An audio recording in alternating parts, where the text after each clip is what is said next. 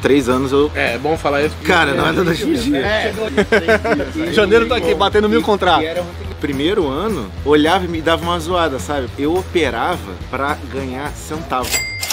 O primeiro ano foi isso. Eu queria ganhar tipo um real, dois. Aí nego me zoava por isso. Porque vai falar, ué, como assim, cara? Tu tá entrando pra ganhar, perdendo esse tempo aí pra ganhar 1,50? Como assim? Eu, não, eu só tô aprendendo, cara. Tô estudando. Um dia eu vou ganhar. Entende que. Cara, o objetivo é aprender.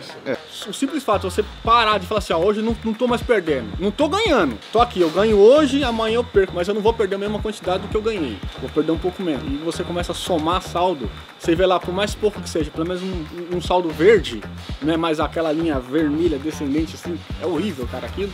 Já começa a dar um pouco mais de esperança. Você fala assim, poxa, valeu a pena. Você tem quatro meses de bolsa. Cara, eu tomei no cu por quatro anos. Por quatro anos eu fui um cara frustrado. Graças a, a você falar isso nas aulas, é, me evitou tomar no... Exatamente porque tu- eu, eu ouvi suas aulas todas, meu irmão. Aí quando eles cara falava, E hoje, Fala, meu. assim, eu, eu entendi a lógica do mercado, eu entendo que assim, não consigo replicar pra você isso, mas eu consigo mostrar como eu faço. A minha lógica, e aí com o tempo, se você for indo, você vai ajustando, melhorando, aferindo, etc. O problema é que as pessoas querem uma fórmula mágica, onde dinheiro na mão. Isso não existe em lugar nenhum. Até pra instalar câmera, não tem isso. Você tem que ir lá e fazer o trampo correto, senão o cara não te chama de novo. Padronizado, pô, você tem que pendurar a câmera e ligar. Nunca é igual. Sempre a forma que você vai instalar é diferente, o lugar que você vai instalar é diferente, o caminho do cabo é diferente. É igual mercado, é, tudo é diferente. É cada dia uma surpresa nova. Então, assim, não é tão simples como as pessoas veem. Vem, o cara que tá pagando o serviço, óbvio que ele quer o desconto, que ele, ele também tá fudido, ele tá correndo atrás.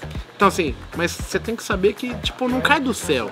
Tudo é muito árduo pra todo mundo, em qualquer profissão. Isso é uma lição que eu aprendi.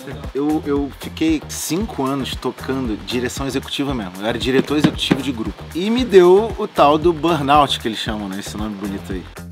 É, é, eu- não é mais pela grana, eu já tava exaurido, sabe? Eu já queria me casar e ter filho, tava meio que nessa fase da minha vida.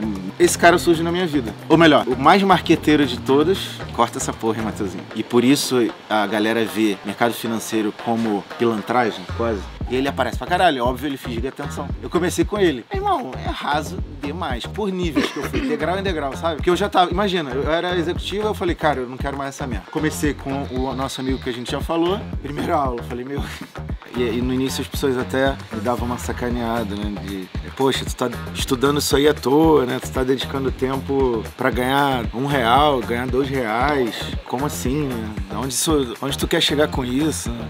Eu me dei um ano de, com clareza mesmo e disciplina. Isso é o mais difícil, eu diria, pra estudar. E eu nunca operei em conta simulação. Eu nem tenho conta simulação. Mas eu me dei um ano pra operar, no caso, ações, que eu me adaptei melhor com ações, até, né? Porque tu pode começar pra estudar e treinar com uma ação baixinha, que custa baixinho, né? E aí tu vai testando mesmo, ajustando a mão e com pouquinho dinheiro. Elas têm o mesmo funcionamento do mercado padrão, que é extremamente relevante. Isso é importante pra caralho. Foi a minha percepção, assim, de, de, de conseguir, cara, estudar na prática. Que eu não queria ir pro simulador. Não sei porquê. Eu já tinha meu trabalho e eu queria é, estudar de alguma maneira prática mesmo. Então eu- assistia as aulas e tentava colocar em prática sempre. né? Por exemplo, tem ações que custam centavos. Tu pode pra estudar, praticar em ações assim. Eu posso comprar. é, o intuito é praticar e ver se o método dá certo. né? Meu primeiro aluno foi o André Moraes. Tipo, na época a gente pagava corretagem, 25 reais pra comprar, 25 reais pra vender. Ele entrava com 100 ações e ele falava assim, pô, perdi. Não, não perdi. É porque se eu tivesse entrado com 3 mil, eu tinha ganho. Mas ele fez o processo. Conseguiu aceitar essa forma de aprendizado. É muito louco. São pouquíssimas as pessoas que fazem isso.